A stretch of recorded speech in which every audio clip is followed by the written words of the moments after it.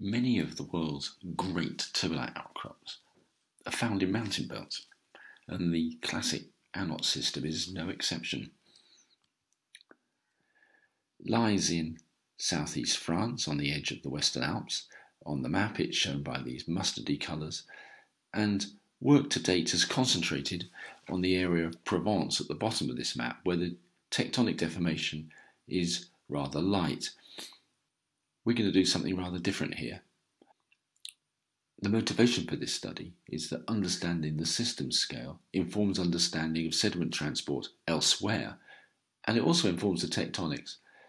But we'll see this is going to involve meeting something of a challenge.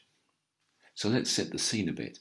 This is Joseph and Lomas's view of the Annot system, sourced from the south from a landmass and shed um, northwards in a foredeep to the Alps running north towards the basement massif of the Écrins shown in the pink on the well on both maps. So here's Joseph Alomas's block diagram looking back up the system. We can use this to identify some of the stratigraphic elements. So the idealized stratigraphy of the Annot system is it's part of the foredeep mega sequence, which begins with a limestone that transgresses a tectonized substrate. The Annot sandstone lies above this, and is capped by a debris flow, a olistostrome, and then by an overriding thrust sheet. So that defines the foredeep megasequence here in the late Eocene Oligocene. The block diagram also shows their idea that the depositional system is confined by tectonic structures, folds on the basin floor, which provide sinuous corridors along which the turbidity currents flowed, and also by an advancing thrust system uh, coming in from the left hand side of the block diagram, which is the arriving alpine chain. Well, there are two questions we want to ask, and we're going to go to this area uh, in the box because, according to Joseph Lomas, the turbidite system banked up against the Écrins, which essentially, on a large scale, ponded it within the foredeep. They also argue that the turbidite basins were closed off by the advancing Alps themselves. So let's go up to the eastern Champsaur area, just on the southern flank of the Écrins. Here we are on that flank, and let's add some geology. So we've got the basement on the left, forming going up to make high ground in the clouds, and the turbidites um, banking up against that basement. So here's a simplified geological map of that area. And we've got the basement in the pink over there on the on the northwest side of the map, and it forms the high ground that you can see in the photograph. And the uh, Annot and age equivalent turbidites are shown in the mustard colour, with the box, little box in the middle of the map being the view we just looked at. Now, the study that, we, that uh, we're going to look at today builds on some earlier work, and that work was by Jamie Vinnels, who, um, who did his PhD on this ground that we published uh, 10 years ago now. And it shows the idea of, of turbidity currents flowing across um, from the basin across onto the basement. So the basement massif was not a dam. The paleo flow continues towards the basement massif and runs up, runs up, and presumably continued across it. So we're going to look at the area where those paleo currents sit, and the next map is essentially of that area. Here it is. So the turbidite basins in, in yellow. We're going to add detail to this uh, as we go, and there are two basement inliers in there shown in red. Now let's go and have a look at some of the challenges we're going to try and face here. And we're going to look at the southern hillside uh, to that northern basement inlier, just there. Here it is, a nice hillside. Let's add some scale. So we're looking at way over a kilometre of relief in here. And now let's add some geology. The lower part consists of the crystalline basement inlier. We've then got a veneer of the early foredeep limestone coming over the top. What about the turbidites? There you go. Lots of folds coming through here. We can trace out the major axial surfaces with the um, red lines through this. So the challenge is to see through the deformation to understand what the basin architecture looked like. Now, there have been studies of deformed basins in the past. The key point we want to talk about is the workflow. So, documenting workflows explicitly is important because it allows understanding of where the uncertainty, assumptions, and limitations of any particular um, study and in and the interpretations that derive from it um, may come from. So our workflow goes like this. And so we start with the strike section. There's a, about 1500 meters relief in here, so it's a big section. We can use the accessible parts of the hillsides to build logs, and these are rather analogous to wells in subsurface investigations. The hillside then becomes essentially equivalent to a seismic section. And we can correlate between the logs, we can fill in the areas that we can map directly, and we can tie up other parts of the stratigraphy based on their bedset character seen on the cliffs. The next step is to swing out and tie this into the more obviously deformed sections. So now let's just look over our left shoulder. Here's the hillside. We can look at the scale of that. This time we've got almost two kilometers of relief in here. And we can map the top basement surface like this, and we can pick out the bed sets and the boundaries of them through the fold structures like this. We can test these correlations um, and add further information by tying in further logs as we go. So that hillside uh, is the boxed area that's on the map there that we've just been looking at. So we've got um, essentially large hillsides that provide correlations akin to seismic data, and we can then use that, of course, to build out a map um, through the area like this, where we divide the stratigraphy into different bedset units picked out by those different colours.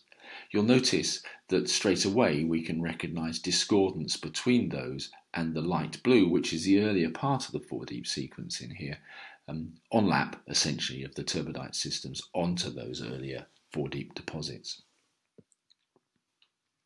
So that was the workflow. Now let's look at the stratigraphy that we can derive from it. We can start off looking at that first section that we looked at on the strike section. Here are the logs from those areas there tied together to make a composite. The yellow is the sand, so we can divide the units up into different packages based on their net to gross, and we can correlate them through the area. So here is the correlation through all the logs that we've, that we've uh, provided, and it shows um, variations in net to gross through the through the area. They're tied from cliffs. They're not just jump correlated between what would be the wells.